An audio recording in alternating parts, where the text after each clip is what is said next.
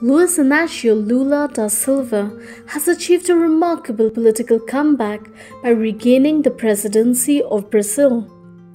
Lula is now set for a third term, 12 years after ending his second term as an unusually popular president who achieved both economic growth and social inclusion between 2003 and 2010. With his victory, the talk of a pink tide is washing through Latin America once more, after years when the left wing movement was thought to have been lost at sea. However, his government will have an uphill battle. Government coffers are emptier than they were when Lula was last president.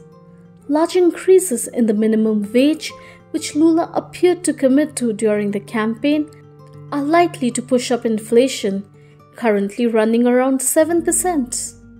Productivity remains stagnant. An industry, which has shrunk as a share of the overall economy, is internationally uncompetitive in many sectors. Lula faces political challenges too. The extreme right wing, Jair Bolsonaro, may have lost the presidency, but many of his allies have won powerful political positions around the country. Five of his former ministers won places in the Senate, where Bolsonaro's Liberal Party has the biggest block of seats. Bolsonaro may have to leave the presidency, but Bolsonarismo is not going anywhere.